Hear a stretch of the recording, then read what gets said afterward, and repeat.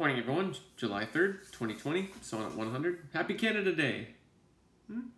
Canada Day being July 1st. That was the day that I was supposed to do this, but I was driving from a town called Northbrook through Kaladar, through Kingston, Picton, Belleville, ending up at a uh, Castleton, a tiny, tiny town with one little corner grocery store, wonderful people in there, grabbing some food, and heading back to a campground called Sandaraska Park in the Ganaraska Park where we attempted to ride our motorcycles through rocks. Didn't work so well.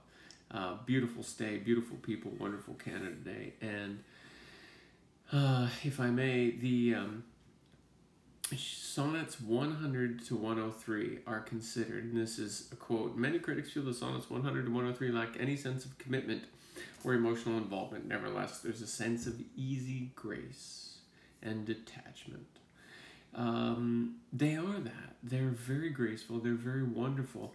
Um, but in this 100, according to um, an older uh, uh, review of it, Shakespeare is sort of blaming his muse for leaving him, um, sort of drying up and uh, taking off to for some worthless pursuit and leaving him with nothing to say.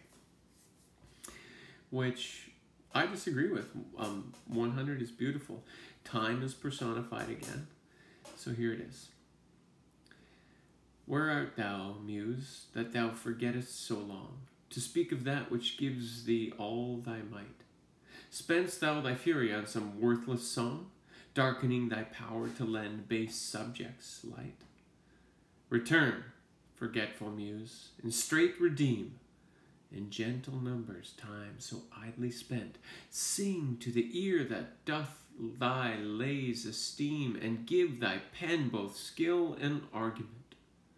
Rise, resty muse, my love's sweet face survey, if time have any wrinkle graven there, if any be a satire to decay, and make time's spoils despised everywhere.